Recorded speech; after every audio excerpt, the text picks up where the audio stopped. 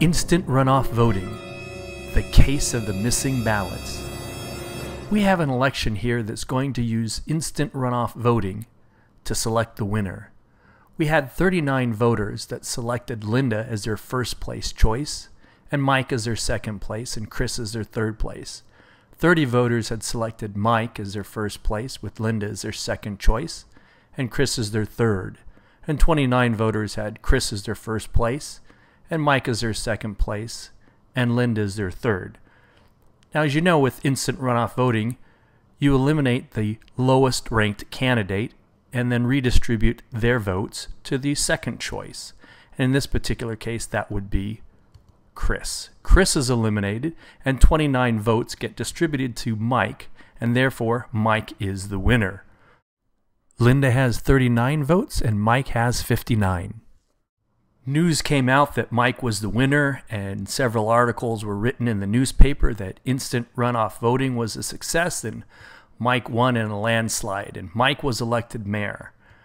The whole town got in the act. The Irving Motel congratulated Mayor Mike, and the New Hope Baptist Church said IRV worked, and congratulations to Mike.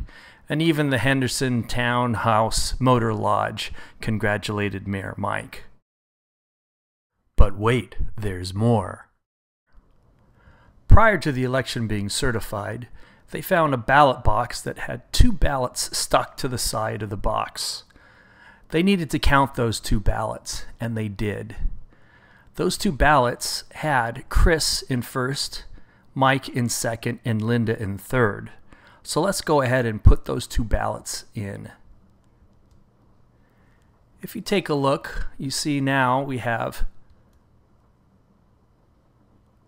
31 votes for Chris. And again, those are two ballots for Chris, second Mike, and Linda in third place. Now again, can you see who the winner is going to be with instant runoff voting algorithm? We're going to eliminate the lowest ranked candidate, and that would be Mike.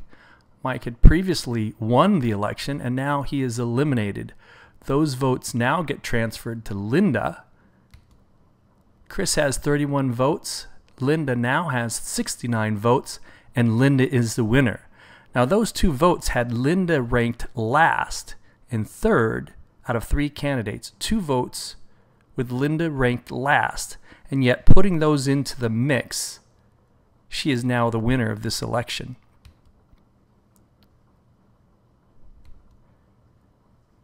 Now, to recap, the first results had Linda with 39 votes and Mike with 59 votes, and Mike won. Adding the two votes with Linda ranked last changed the whole election.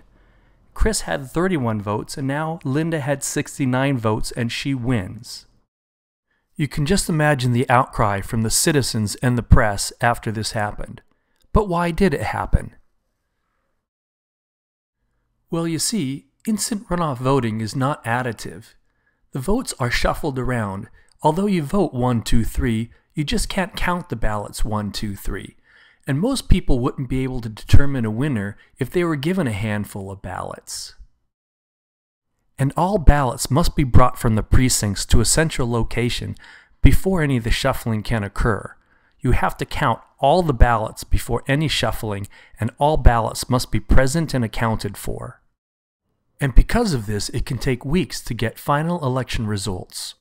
In fact, Minneapolis election officials just announced that it'll take about eight weeks to count all the ballots in this year's election because of the new instant runoff voting system. What's so instant about that?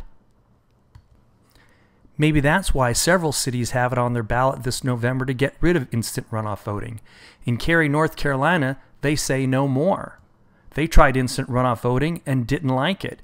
I'll take integrity in elections over funny math and 30% voter confusion any day, said one of their council members.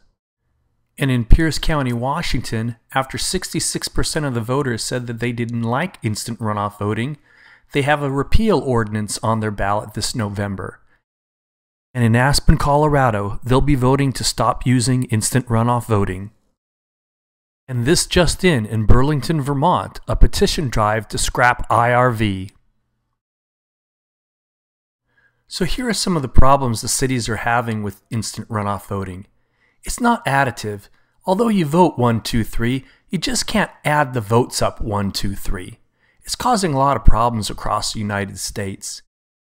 And it's not very intuitive, as you saw here. By adding two ballots, ballots that had a candidate ranked last but allowed them to win the election just by adding those two ballots, just seems kind of odd. And then there's the lack of transparency, the weeks of counting. Election integrity experts are very worried about this. To have confidence in the outcome of the election, the public has to have the ability to watch the counting. If it takes weeks, that's just not right. IRV has so many flaws that many cities now have buyer's remorse.